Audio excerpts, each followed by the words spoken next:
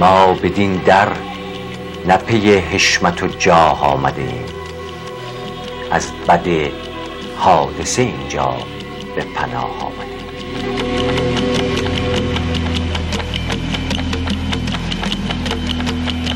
رهرو منزل عشقیم و ز سرحد عدم تا به اقلیم وجود این همه راه آمدیم. کوچ ایرانیان. هرچند من این رو باید اینجا ازام بکنم که در دوره های بعد بعد از انقراض قاجاریه و روی کار پهلوی هر دو پهلوی هم پدر هم پسر عمدتا پدر در یکی از پیام های مشروطیت ایران پایبندی نشون داد یعنی برقراری نظم قانون امنیت و حکومت. دولت دولت شد در ایران. بله. دولتی شد که قرص و محکم توانست حتی به نظر من استقلال ایران هم که یکی از خواستهای مشروطه بود تضمین بکنه. و حتی محمد رضا شاه هم تا حدودی توانست با برخی از اصلاحات و نزدیک شدن به غرب تا حدودی جواب بده. ولی عملا من فکر می‌کنم هر دو پدر و پسر به یکی از پیام های مشروطه که مسئله آزادی بود که مسئله یعنی در سوال شماست اینها هم بیتوجه ماندند.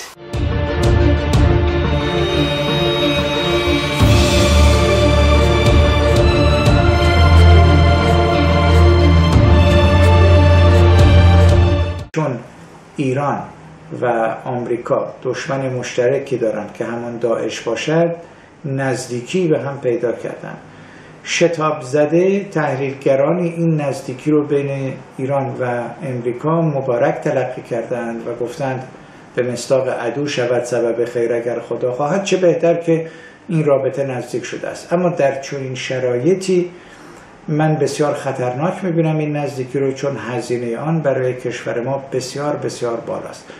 با درود فراوان به شما.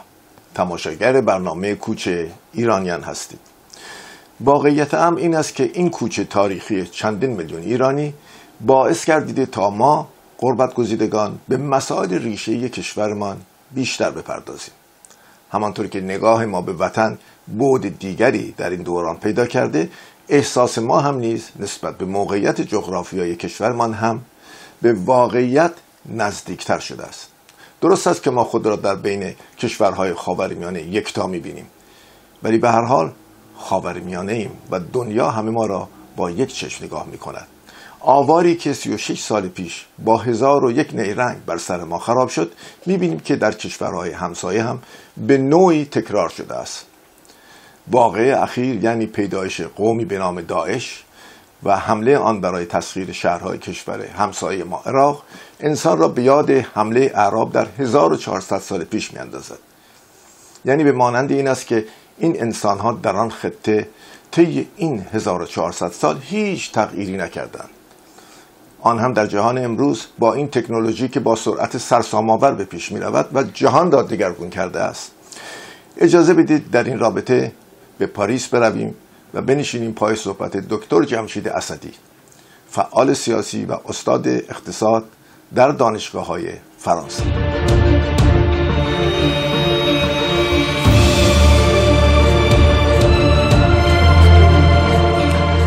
آقای دکتر اسدی خیلی خوشحالم که اینجا در پاریس خدمتتون می‌رسم.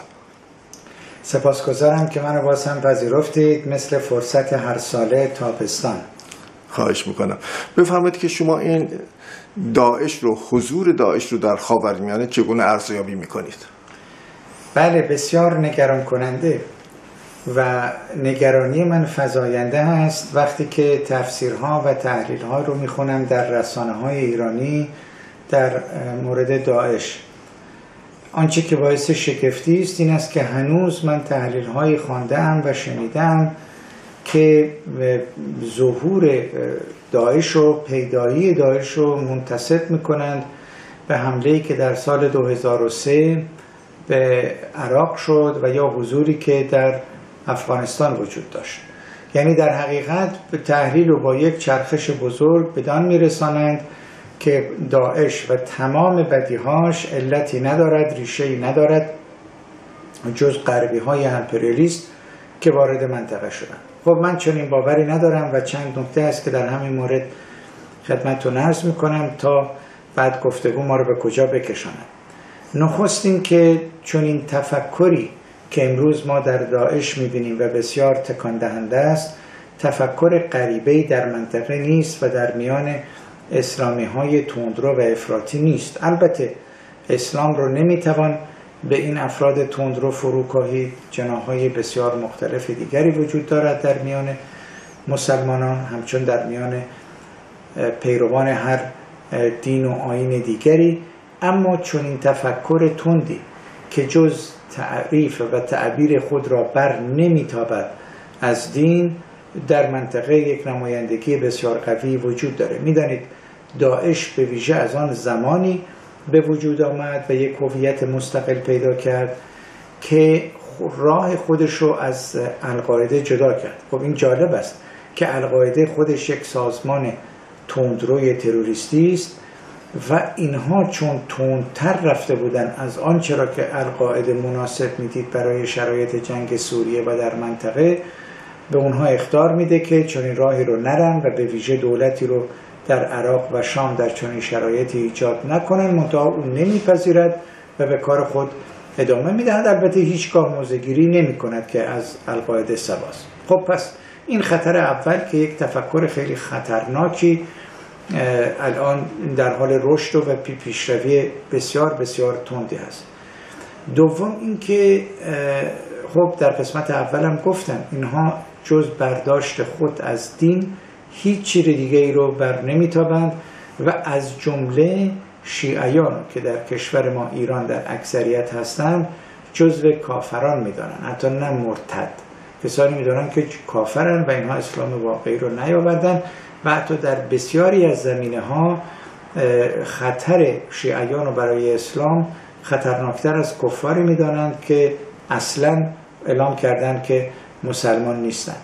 خاطرتون هست که چند سال پیش در افغانستان شیعه کشی بسیار گسترده صورت گرفت. از تفکراتی که کم و بیش خیشاوند تفکرات داعش بود و حتی کارکنان سفارت رو در افغانستان کشتن.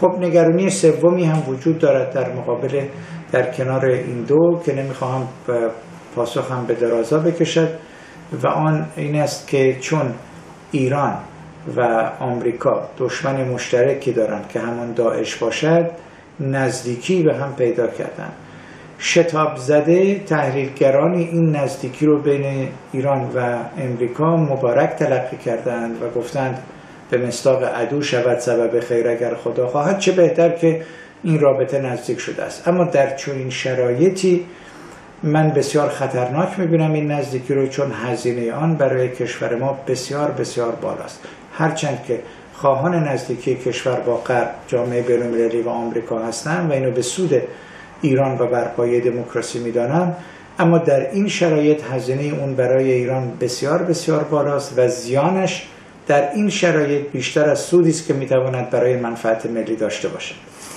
آیا اسدی با خبری که امروز آقای لاجوردی به ما دادن حضور داعش در سنندج رو چگونه ارزیابی می‌کنید؟ ببینید این چیزها غیر قابل باعث شگفتی نباید باشد.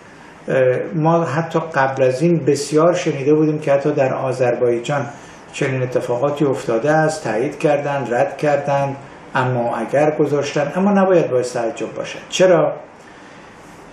خب این هم یه نکته دیگری است که می‌تواند جز نگرانی های ما باشد. حضور داعش در یک منطقه دو شکل دارد. یکی این ارتشی که راه افتاده است از سوریه و گام به گام آمده است و امروز شهرهای بسیاری رو در عراق اشغال کرده. یه شکلی. یه شکل دیگه این است که وقتی نزدیک به شهری می‌رسند یا از دور پیامی می‌دهند هوادارانشان پیروانشان یا نفوزی های داعش در شهرهای مختلف قیام می‌کنند. یکی اینکه کار رسیدن داعش رو سریعتر می‌کنند یکی اینکه پیام می‌دهند. که اینها در اینجا وجود دارن و گستردگیشون تا کجاست. و سوم یک تاکتیک نظامی است که می‌خواهند نیروی دشمن رو منحزم بکنند. خب فکر کنید مثلا الان یه نوری رفته است که با داعش در عراق مبارزه بکنه یهو خبر میاد که در رضایه و کردستان ایران هم اینها هستند مثلا در. خب این تاکتیک سومی که در این مورد وجود داره. اما در این اینم باید دونست که یکی از دلایل وجود و حضور این پیروان در شهرهای مختلف سیاست های بسیار غلط و نابخردانه است که علیه به ویژه سنی ها مثلا صورت گرفت. خب این بسیار باعث تعجب ماست ولی در این حال قابل توجیه که بسیاری از سنی های عراقی به پیشواز داعش رفتند و آنها را به عنوان نیروهای آزادی بخش خواندند. بدیهی است که ما با تجربه هایی که در منطقه داریم و به ویژه در ایران داریم می‌دانیم که اینها هرچه بدهند آزادی نخواهند داد. اما چرا یه عده از نیروهای سنی چنین توهمی رو دارن؟ به علت سیاست فرقه‌گرانه بسیار نادرست نخست وزیر عراق با تشویق و پشتیبانی جمهوری اسلامی. شوربختانه سیاستی شاید با درجه کمتری به همین شکل نسبت به همیهنان سنی ما در مناطق سنی نشین وجود داره. می تواند این باعث آن بشود که به خطا و به اشتباه و پرزیان بعضی از همیهنان ما این خیال خام آزادی بخشی داعش رو در سر داشته باشند که اشتباه می‌کنن اما در این حال این می‌تواند باعث همدلی و همراهی برخی از ایشان با داعش باشد. آیا اسدی شما پیش بینیتون در ارتباط با مقابله کردن جمهوری اسلامی با داعش چگونه است؟ ببینید این مبارزه حتما ادامه خواهد داشت. بین جمهوری اسلامی و بین داعش.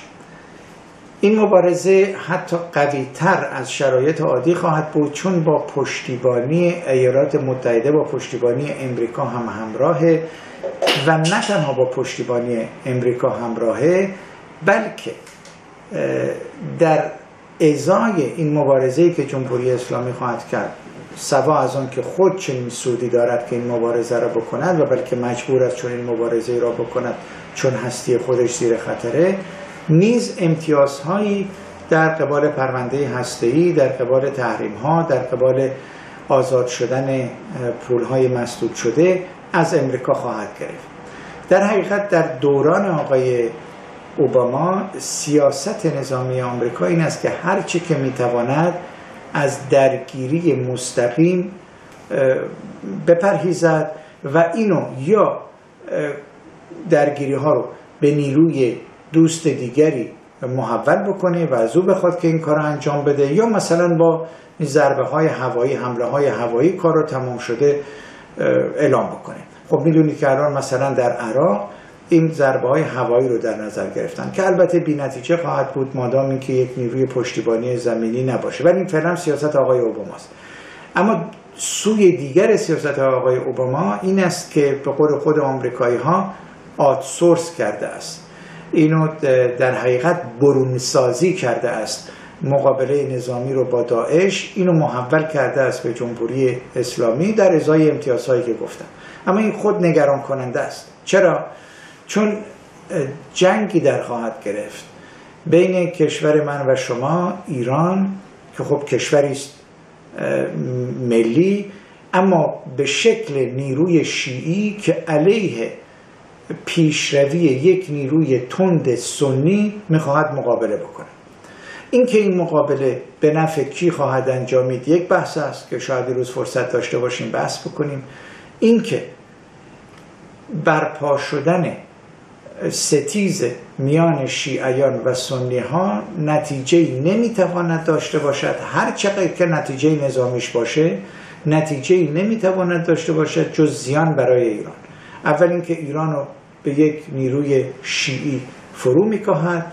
دوم اینکه این را در اقیانوسی از مردم سنی خواهد گذاشت و تخم دشمنی رو به شدت فرا خواهند افکن و می‌دانید که خودمون هم همیهنهای سنی بسیار زیادی داریم. می‌دونید الان نکته آخری که در این مورد عرض می‌کنم در کشور سوریه ایرانی ها جزو منفورترین مردمان منطقه هستند. به علت همین شرایط جنگ هایی که به این شکل شیعه و سنی و پشتیبانی از اسد به راه افتاده است. با سپاس فراوان از شما. با سپاس از فرصتی که به من دادید. یکی از مسائلی که طی این سالهای غربت نشینی توجه همه ما را جلب کرده. نتیجه تلاش صد ساله ملت ایران است. میگم ملت ایران هر چند دهی یهو خروش می‌کنه میاد میدان یه سی رو کاسه کوزه رو میشکنه و نمی‌دونه چجوری دوباره بسازه. در رابطه با خصوصیات ملت ایران سخن فراوان گفته شده. ولی به هر حال واقعی 36 سال قبل یعنی انقلاب اسلامی تحمیل شده به ملت ما باعث شد تا ما هرچی بیشتر پیگیر عوامل این نابسامانی باشیم. در این راستا امروز می نشینیم پای صحبت مهدی خانبابا تهرانی. فعال سیاسی مورد احترام اکثر جامعه ایران در داخل و خارج از کشور و همچنین گروه های سیاسی چپ و راست. فردی که بیش از نیم قرن عمر خود را در راه آزادی و اقتدار جامعه ایران نصار کرده است. به آلمان و شهر فرانکفورت می رویم.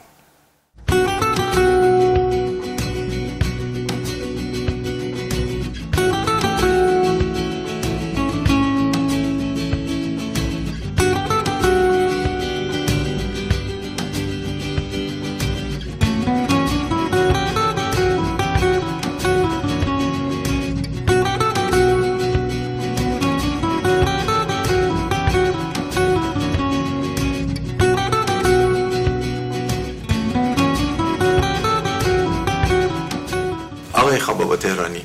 من می‌دونم که شما بیش از پنجاه ساله که فعال سیاسی هستید. سالی که امروز مطرحه در صدومین سالگرد انقلاب مشروطه. چگونه از ایرانیا تمام مدت طی صد سال گذشته برای به دست آوردن آزادی فعالیت کردن؟ حالا فعالیت زیاد یا کم ولی هرگز موفق نشدن و امروز ما شاهد یک حکومت کاملا استبدادی در کشورمون هستیم. به باور من اصولا جنبش مشروطیت ایران که از سده 19 هم شروع شد و در صد سال پیش به انقلاب مشروطه ایران انجامید یکی از درخشانترین صفحات تاریخ ایرانه. با وجود اینکه در اون زمانه یعنی اگر دقت بکنیم در صد سال پیش ایران در یک زمینه های بسیار عقب مانده اجتماعی فرهنگی بوده. ولی اینکه روشنفکران ایران توانستن عده از روشنفکرانی که در بیرون درس خونده بودن یا اصولا در جنبش های روشنگری اروپا شرکت داشتن آشنایی داشتن با بازگشت خودشون ایده های آزادی رو در ایران پخش کردن و توانستن جنبشی به وجود بیاورند من فکر می‌کنم در این جنبش یک نیروی عظیم دیگری هم مشارکت داشته که هنوزم در تاریخ ما نشد و اون روحانیت بوده. نقش به نظر من روحانیت شیعه رو نمیشه نادیده گرفت در جنبش های اجتماعی. در حتی مشروطه من فکر می‌کنم جنبش روحانی شیعه خیلی نقش بزرگی داشته. چون عوام رو اونها می‌توانستن بسیج بکنن. با زبان خودشون با ایده های خودشون. منتها خب در فکر مذهبی عملا ایده ضد مدرنیته ضد تجدد وجود داره. و از همون آغاز انقلاب مشروطه جنگ بین سنت و تجدد شروع شد که سرآمد در واقع مقابله با مدرنیته شیخ فضلالله نوریه. به نام او تموم شده. در حالی که من معتقدم سایر آقایان هم که به عنوان روحانی در مشروطیت شرکت داشتن همچنان روی موافقی نداشتن با مسئله مدرنیته بیشتر طرفدار سنت بودن. ولی خب برای اینکه قدرت شاه رو کم بکنن به قدرت روحانیت بیافزایند همراه جنبش مشروطه بودن. حتی اگر بریم در تاریخ دقیق بشیم ببینیم خود تبا تبایی و بهبانی هم که معروفن به مشروط خواهان اونها هم مشروعه مشروطه می‌خواستن. که همین بس الان تو جامعه ما ادامه داره. به این جهت این ناخالصی جنبش مشروطه ایران که گرایش های رگه های مختلفی توش داشت منجر به این شد که در واقع در پس از سقوط استبداد قاجار جریانی به سر کار بیاد که نتواند پاسخگوی یکی از پیام های مشروطه باشه. اگر مشروطه دو پیام داشت یعنی یک پیامش در واقع مسئله مدرن کردن جامعه دولت کردن دولت شکل دادن به دولت حکومت قانون بود و ادالتخانه بود و پیام دومش آزادی بود و مردم سالاری حاکمیت مردم بود. در این مسئله پیام اصلی که در واقع آزادی و مردم سالاری بود من فکر می‌کنم پادشاهان بعدی هم نتوانستن پاسخ بدن. یعنی بیشتر رفتن روی تخت استبداد نشستن که زمینه هاشم بود در اونجا. بعد خود روحانیت کمک کرد به استبداد بعدی ما. هرچند من این رو باید اینجا ازام بکنم که در دوره های بعد بعد از انقراض قاجاریه و روی کار آمدن پهلوی هر دو پهلوی هم پدر هم پسر عمدتا پدر در یکی از پیام های مشروطیت ایران پایبندی نشون داد یعنی برقراری نظم قانون امنیت و حکومت دولت دولت شد در ایران. بله. دولتی شد که قرص و محکم توانست حتی به نظر من استقلال ایران هم که یکی از خواستهای مشروطه بود تضمین بکنه. و حتی محمد رضا شاه هم تا حدودی توانست با برخی از اصلاحات و نزدیک شدن به غرب تا حدودی جواب بده. ولی عملا من فکر می‌کنم هر دو پدر و پسر به یکی از پیام های مشروطه که مسئله آزادی بود که مسئله در سوال شماست اینها هم بیتوجه ماندند و بیشتر به مسئله مدرنیزاسیون نه مدرنیته توجه کردن ولی هرچه بود من فکر می‌کنم هر دو پهلوی ها در ایران ما این خدمت رو کردن که به مسئله قانون به مسئله دولت به مسئله مدرن مدرنیزه کردن جامعه ایران کمک کرده باشن. ولی به آزادی بی تفاوت بودن. نه فقط سلطان های ما بودن بی تفاوت بودن نیروهای زیاد اجتماعی ما هم حتی برخی از روشنفکران که یادآوری اسامی اونها وقت طولانی می‌بره اینها هم معتقد بودن که جامعه ما زمینه آزادی و دموکراسی رو نداره. ما باید الان تن بدیم به دیکتاتوری صالحه. و همین دلیل دور محمد رضا شاه بودن دور رضا شاه بودن. عده از این روشنفکران که تمکین کردن به دیکتاتوری صالح. من فکر می‌کنم که یکی از دلایل اصلی عدم آزادی در ایران نبود در واقع افراد و شخصیت هایی بوده که اندیشه سیاسی رو تولید بکنن. چیزی که مرتبط با شرایط ایران باشه. یعنی بتواند پاسخگوی زمینه های ایران باشه. برخی از روشنفکران مثل من و امثال من که چپی بودیم بیشتر ایدولوژی های کشورهای دیگر برداشته بودیم بدون توجه به ویژگی که جامعه خودمون. فکر می‌کردیم آزادی اونقدر اهمیت نداره یا دموکراسی مثلا یه شکلی از دولت بورژوازیه که این همون ادامه دیکتاتوری سرمایه است. بی توجه بودیم دیگه این واقعیته. بی توجهی ما البته آزادی رو ما می‌گفتیم ما می‌خواستیم آزاد باشیم ولی نه آزادی دیگران. آزادی خودمون رو بیشتر منظورمون بود تا آزادی دیگرانشان چون دیگرانشان اصولا نیروی متخاصم بودن نیروی دشمن بودن نیروی طبقاتی مقابل ما بودن. این این شکل از اندیشه و ایدولوژی مانع بود که روشنفکران بتونن در واقع در مسیر دموکراسی و آزادی خدمت بکنن. اون چی به روشنفکر چپ مربوط روشنفکران دست راستی ما هم که در حکومت و بروکراسی ایران قرار گرفته بودن اونها هم بی توجه به این بودن که در واقع باید به عنوان حکومتگران که پوزیسیون نام داشتن یک طرف قضیه جامعه باشن. یعنی پوزیسیون و اپوزیسیون باید با همدیگه تعادل به وجود می آوردن اونها بی توجه بودن. هر مخالفی رو به عنوان بیگانه پرست و دشمن سرکوب می‌کردن. هر اندیشه رو قدغن می‌کردن و ممنوع می‌کردن. اولا احزاب رو از بین بردن. در چنین فضای طبیعی است که به نظر من درخت آزادی نمی‌تونست بارور بشه. و عملا سایه استبداد مرتب سنگینتر می‌شد. حال البته اندیشمندانی هستن که بیشتر توجه به این دارن که شکل تولید آسیایی و مالکیت ها در کشوری نظیر ایران یکی از اساساش اصولا وجود استبداده. این رو هم می‌گویند دیگه میگن مسئله مالکیت در ایران مالکیت بر آب و غیره و ایران تا تئوریش که مارکس هم گفته شیوه تولید آسیایی.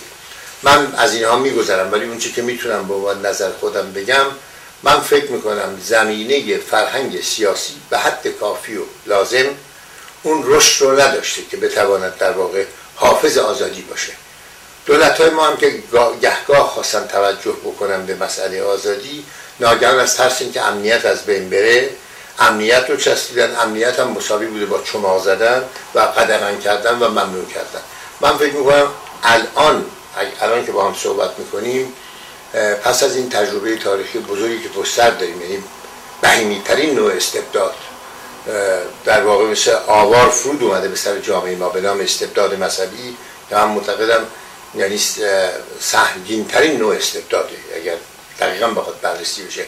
حتی از دیکتاتوری نظامی و دیکتاتوری شود بروکراسی و دیکتاتوری های معمولی که می‌شناسیم کلاسیک خیلی سنگین بستره یعنی به نام خدا حکومت می‌کنه. به نام در واقع چیزی که فرای انسانیت قرار داره به نام باور عمومی مردم.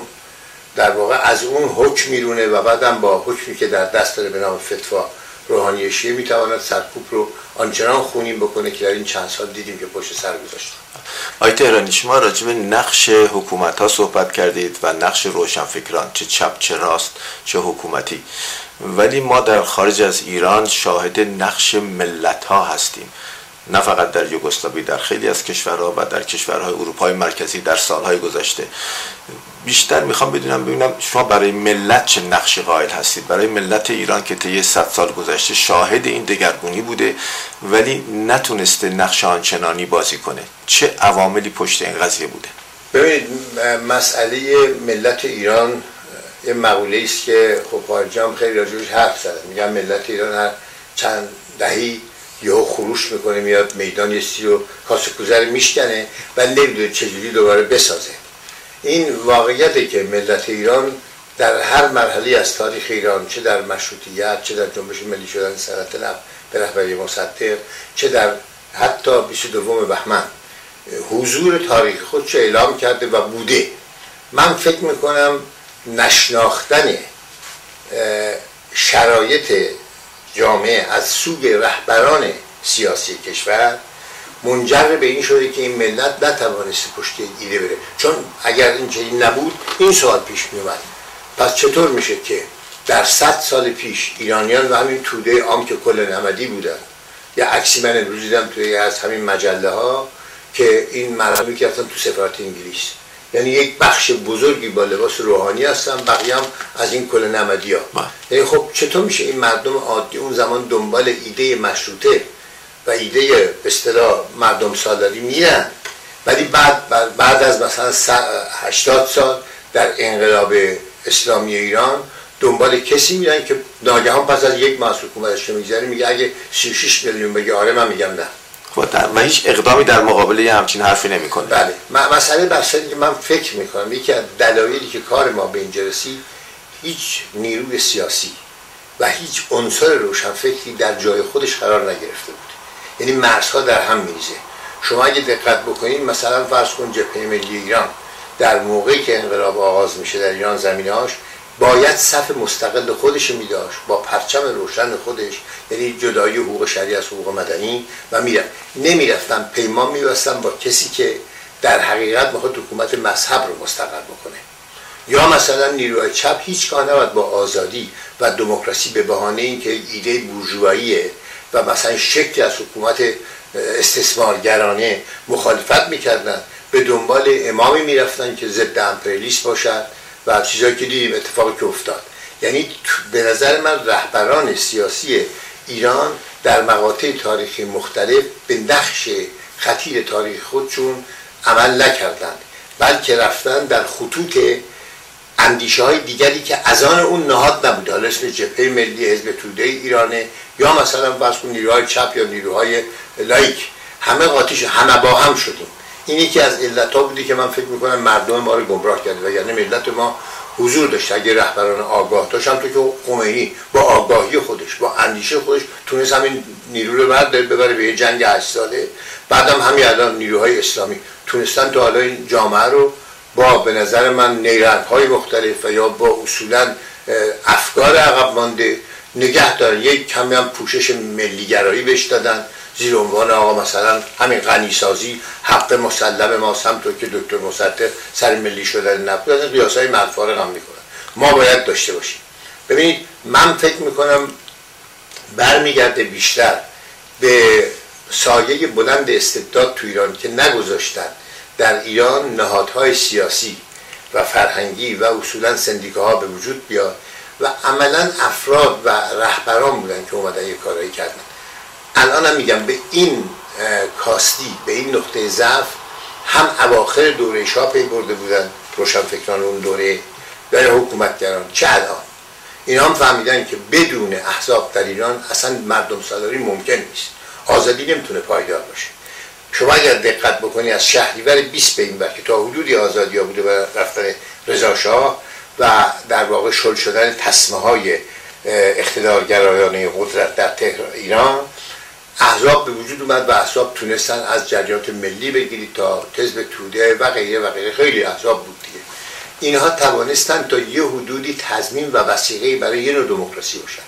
یعنی ما از شهریور 20 تا 1332 که دکتر مصدق با کودتا 28 مرداد برکنار شد ما یک نوع آزادی داشتیم در اونجا. یعنی احزاب بودن. حتی هم حزب تو تو مجلس 14 هم رفت. جبهه ملی بود حزب ایران بود نیرو سوم بود پانیراریس بود حزب حلقه سدزیا بود و حزب کبوت نوبخت بود و و و. داشتیم. با تعطیل کردن این تا و وجود کودتا 28 مرداد که به نقطه پایان در واقع این نوع آزادی ها بود عملا یک نوع دوره سیاهی ما دوباره در کشورمون برقرار شد که تا انقلاب ادامه داشت. تا حزب رستاخیز واقعا انقلاب شد.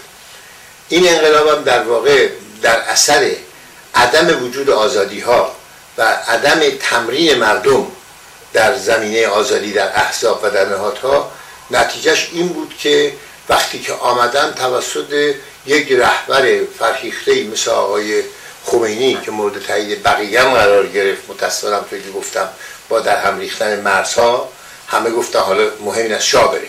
هر کی بیاد مهم نیست. اونجایی رسیدیم که امروز درش قرار گرفتیم. و به حال آزادی پر بال شکست و پرپر زد و در بام ایران فرود آمد. و من امیدوارم که پس از این تجربه بزرگ و زمینه هایی که الان در ایران دارم می‌بینم به حال هست. دو عنصر مهم در جنبش ما الان وجود داره. یکی حضور زنانه و جنبش زنان است. هرچند کاملا و یک بارچه سازمان یافته نیست ولی در سازمان های مختلف و حضور شخصیت های زنان جنبش زنانی که از قوی ترین جنبش هاست در ایران که حضور داره عملا. بعدم جنبش جوانانی که رو به سوی ترقی آینده و مدرنیته دارد دیگه حاضر نیست این اوراد و حرفهای قدیمی رو بپذیرن. هرچند در دامن خود جمهوری اسلامی اینا به دنیا آمدن. اتفاقا یکی از به نظر من نقاط قابل توجه برای بررسی مسئله ایران است که نسل بعد از انقلاب این رو من در یک مقاله پاسخ دادم تحت عنوان کوچ نسل انقلاب. تاریخ مهاجرت با آقای حجاریان. وقتی حجاریان گفت نیروهای نیروهایی که موج اول از ایران رفتن و موج دوم و رو تو چمدونشون گشتن رفتن. بعد سوال من این بود که اگر چنین است شما باید پاسخ بدید.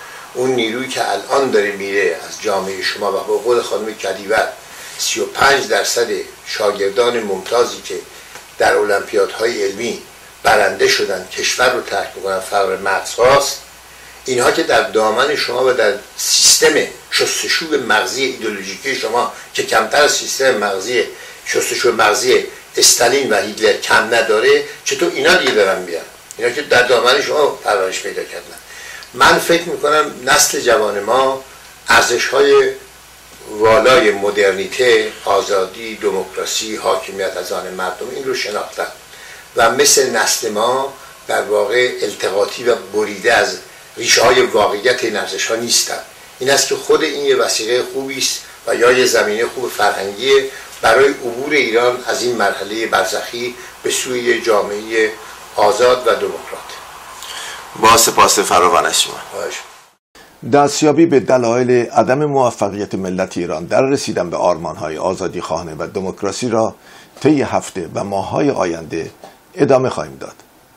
با این باور که مجموع این اظهار نظرها ما را به واقعیتهای پنهان و دور از ذهنمان نزدیک خواهد کرد. در این راه با ما باشید از همین دریچه تازه گشوده شده ایران فردا.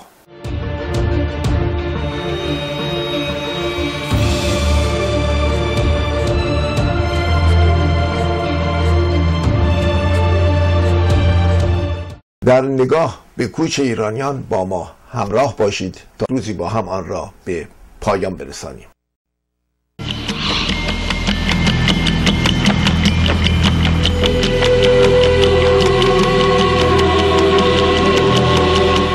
و ما در قربت همچنان دوره می کنیم شب را و روز را هنوز را.